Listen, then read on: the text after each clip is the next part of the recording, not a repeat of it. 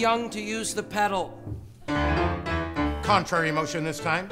So the one hand will go the one way and the other hand will go the other way. Oh, I don't think so, sir! Come on! Will you please stop yelling at me? I'm not yelling at you, I'm feeling strongly about what I'm saying. The bench is too close. Thank you.